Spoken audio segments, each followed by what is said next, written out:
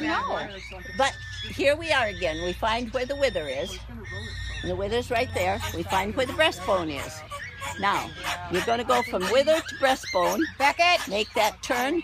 And here's where the elbow should be.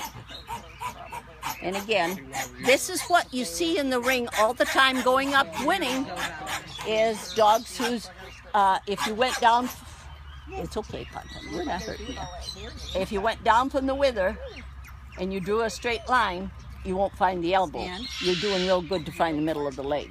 Stand. You need to That's all right, honey. Yep, right. We're working on standing. And you see here, when you uh, get that loin, there's the last rib. Three fingers, possibly just a, a three and a half on my hand. So this is a nice short loin here. We'll go on to the rear. And again, you lift the dog, let it fall of its natural accord. And through there, you should be able to put two front legs uh, when it naturally stands.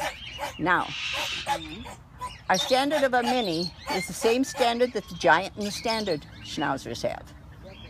They're allowed when they walk to meet center line and walk like a working dog.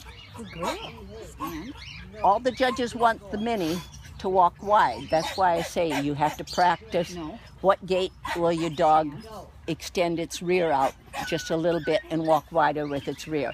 Because the faster you move, the more it's going to go to center line. Now, from here to the floor, you want a nice straight line. You don't want hocks that turn in or out either way. And you get a, a good hock often with good muscle mass on that second thigh. Second thighs take a good year to develop well. So don't expect a puppy to not feel like marshmallow. Excuse me. Sorry, puppy. Same thing. Here. Nice. It's okay. You're good, baby. Good baby. Yes. Oh, I like kisses. I like kisses. Uh, ha- hair between the pads of the foot is very necessary to get a good tight foot. Back to the head. You're looking for uh, a cheekbone that you can feel more prominent, but you've got to feel some cheekbone. I mean, there's no such thing as no cheekbone there. And again, it's the forefinger on the top to the break forefinger. And again, you'd like to see nose about right here. Let me see that again. The four fingers. See four fingers Let me get that right there. Okay. and four fingers up there. Okay. Eyes should be oval and dark, and they are. Ear sets are good. We wish we had a couple of natural, and I'd show them, yeah, how they could change their ear set. Yeah, yeah well, it'll come. Uh, see how the eye teeth inner space each other and act like a good unit there? Same on the other side. And that's primarily all the judge is going to look for on your front. And uh, there's differences in fronts because in Europe they want this front to bow out slightly and have a prominent chest bone. United States, because we're showing in that terrier group again, they like to see flat fronts. So again, camouflage with grooming. And here we are again. Length of body and height should be identical. And then when you're judging legs, there's two fingers high, two fingers. So actually, the leg does show that it's in proportion to where uh, each is equal. A lot of people talk about uh, hocks being, if you're measuring with your hand, I always say a hock should be no less ever than four inches. But if you get a six inch, uh, uh, a hock that is, say, you can put seven fingers there and you're just getting to the top of that hock, you got a hock that's a little too high. So this one would be too high? No, this is fine. Okay. This is fine. See, you got a five finger hock. That's Okay. fine. And uh, the reason I check everything with fingers is because you always got them with you. And everybody's going to be a little bit different because your hand's a little different than my hand, but it's always yours. So, Yeah, so I'll comment on two, a couple things. All right. because I'm using her as an example because she's got some good fault, good things and she's got some bad things. Like she said, this is the thing you see more in Europe. There's two types in the United States. There's what they call the working type and the terrier type. What's correct? What's the breed standard say? Working What's type. correct? The working type. But the judges breed us on the terrier type. Right. Okay. So I breed for a forechest because I consider that more the working type than the flat front. So there, you'll find a variation of breeders doing different things in the United States depending on what they're trying to breed for.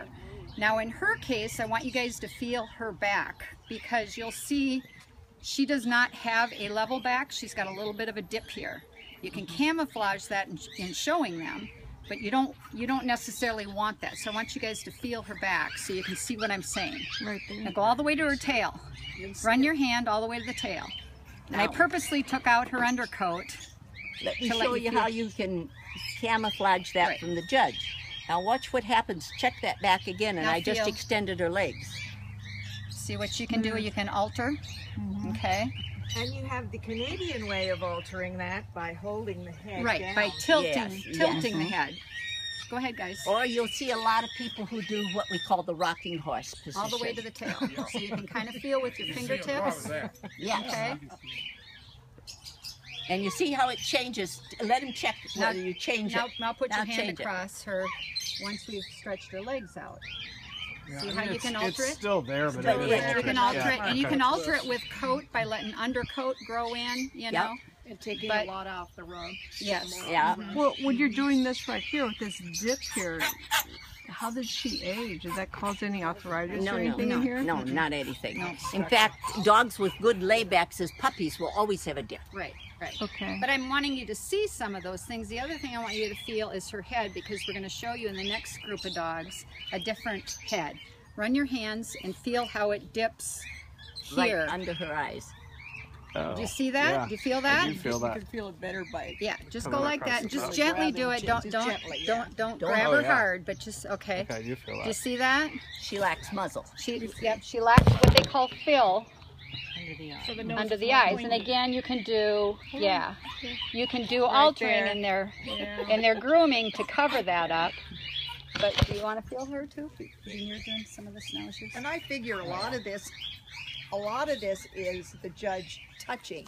Once you get him in a lineup, that judge isn't going to remember any No, of that stuff. we're talking from a breeding standpoint. right. You know. But if you want to breed better dogs, these are the points Yeah. you're So looking you for. want to you want this right here? This No, you do not don't want this. that. This is bad. Don't want this that. is bad. You and you do want- not want this. Okay. But we're don't wanting want you to this see here, some and things that want you that. don't want so Okay. that you you can know. see something when it is the right thing. Okay. Because if you can't feel, yeah, do you want to feel too? I can see it. Okay. Because, um, you know, you want to be able to feel some of those things on her. So, okay, you can put him on. Well, feel the coat for quality.